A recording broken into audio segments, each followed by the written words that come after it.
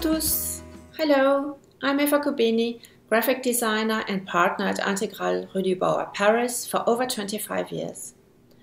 Currently, I'm a professor for typography at the University of Applied Sciences in Aachen, Germany. This talk is about the research project Typo, a mobile app for recognizing and classifying typefaces. Its goal is not to automatically identify individual fonts, but to facilitate the learning of how to recognize their underlying formal principles. I'm happy to be here today at Type, where we present the project to public for the very first time. Hello everyone, I'm Robin Coenen. I'm working as a visual expert at the intersection of technology and design in Berlin. And I've met Eva while working at the Atelier Integral Ruedi Baur in Paris and since then collaborated with her. First as a lecturer at FH Aachen and then later on in the project Typo. I was actually very thrilled when Eva came up with the idea of a web app for typographical classifications as I can still remember how confused I was as a student about all the different classifications from different people and even from different countries. So I thought that a web app with detailed information about it would be a perfect contemporary tool for students.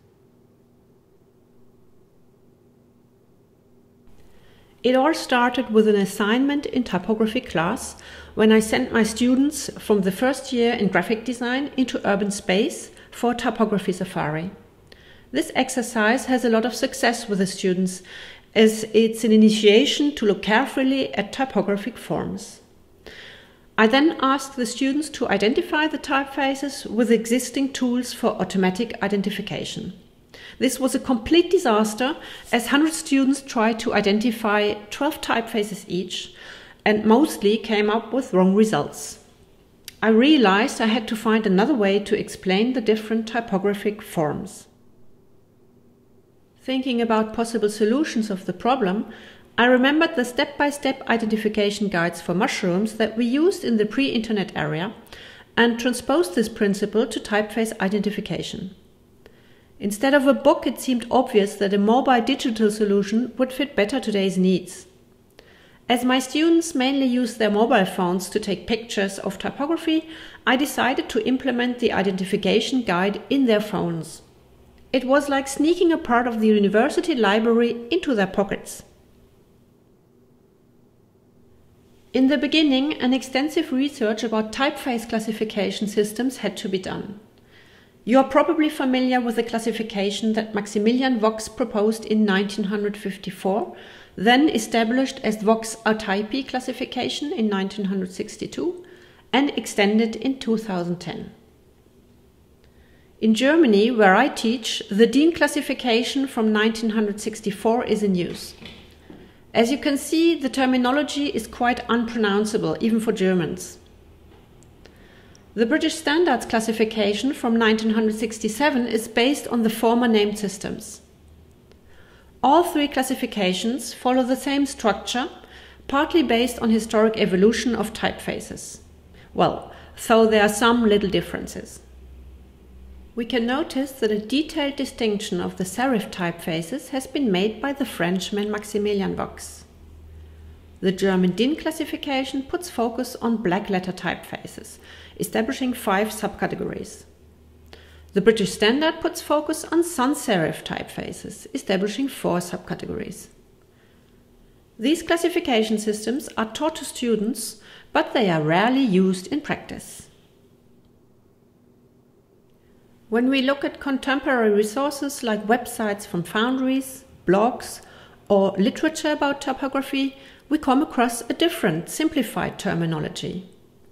These terms and group divisions in current international use have been relied on in the app to meet a broad public and make the content accessible and easy to understand. We identified current terminology for the three languages that we wanted to include in the project. As typography has a long tradition, every language has its own terms. We wanted students to learn this terminology in their own language and be able to understand literature in other languages as well. So, to use the app, enter the URL of Typo project Then copy the app onto your mobile screen. A short sequence explains you the major functions.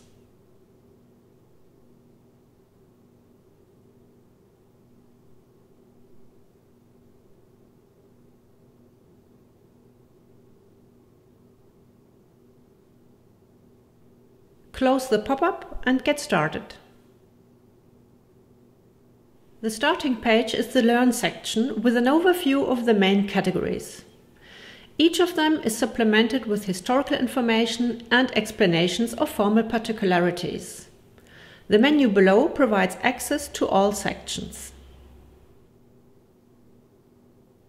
The categories are serif, slab serif, sans serif, display, handwritten and black letter. Each category is illustrated by a typeface. Further sample typefaces can be accessed via link. Synonyms and translations are crucial information as multiple terms are currently in use. Historical background helps better understanding of influences, formal models and typeface evolution.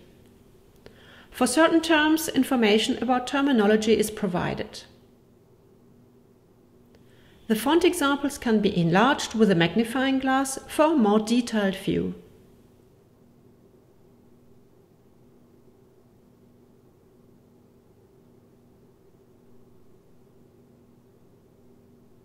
These informations are provided for every typeface category.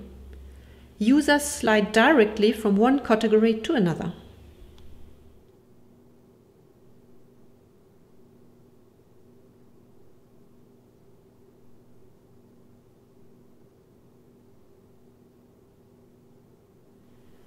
The typeface categories can be easily distinguished by anyone. For students and experts, an additional level of subcategories is needed. The existing typeface classifications are not very helpful here. The principles of form, based on writings from Gerrit Noordzij and theorized by Indra Kupferschmid and Hans-Peter Willberg, amongst others, are more helpful here. Especially in text typefaces, we can distinguish between dynamic, static and geometric letter forms. Defining these subcategories helps us to see and understand the underlying formal principles and to make a better use of type, for instance when combining typefaces. So we decided to use these subcategories that are actually in use for the text typefaces. That's what you see on the left side. The other subcategories follow the existing classification norms. Though, as the DIN Committee actually works on a new typeface classification, they might have to be adapted in future. As the app is conceived for multiple languages, terminology has been translated into English, German and French. Based on terms actually in use, we try to keep names short to avoid historic reference and to use logic terms for subdivision. For instance, dynamic serif being a further specification of a serif typeface. In the app, each category has an overview of the subcategories. A link leads to the relating information.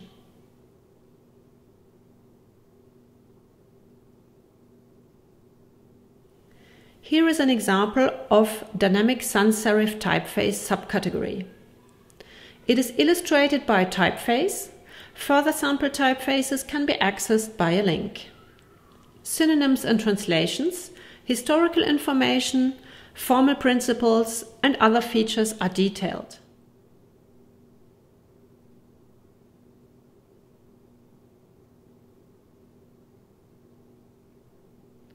The user can slide from one subcategory to another to visualize and compare the formal principles.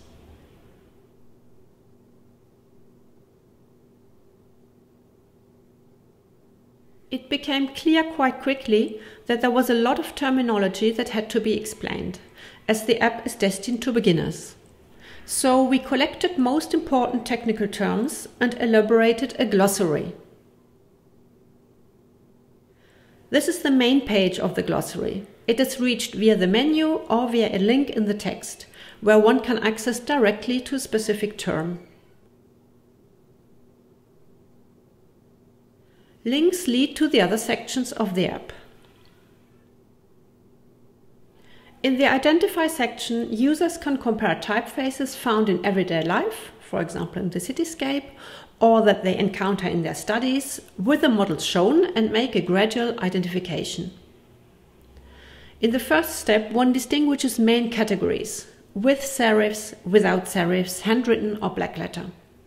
For instance, let's choose without serif. This distinction can be made without expert knowledge. Then the stroke contrast is determined. This step is a little more difficult. Eventually, you might want to check the glossary to read about different types of contrast. The examples that are displayed help making the right choice. Then the formal principle is determined. Sometimes this step is not so easy, as typefaces can have multiple attributes or be in between two formal principles just like a color gradient. Sometimes it's difficult to distinguish blue and green. Finally, typefaces can be differentiated according to other features like glyph style, materiality, technology, usage, etc. They have no bearing on the classification, but they are quite helpful when you want to describe a typeface. With the result, the identification path is detailed.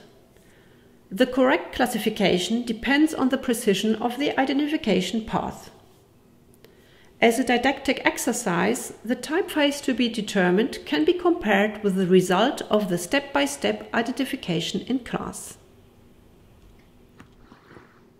This Identify section is the perfect tool for prospective designers on a theoretical as well as practical level. The students not only learn about interesting typographical background informations, but can also find new inspirations.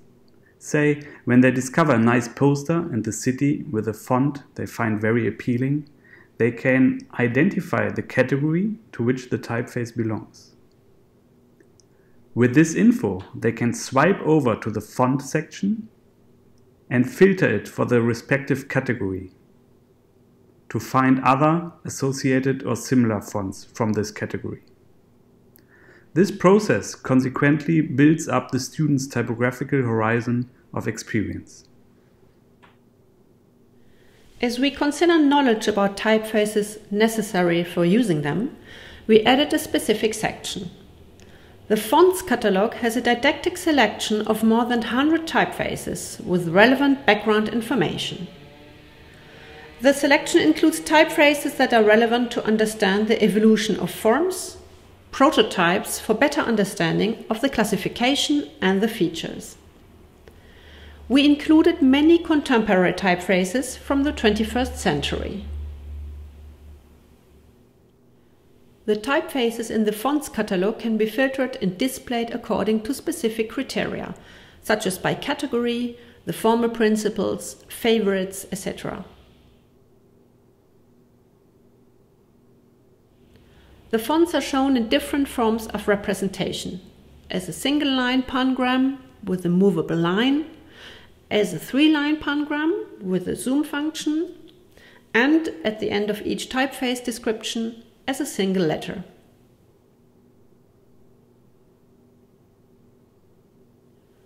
All typefaces are classified according to their respective regular style font. Other variations like weight, Optical size, width, and slant are not listed separately.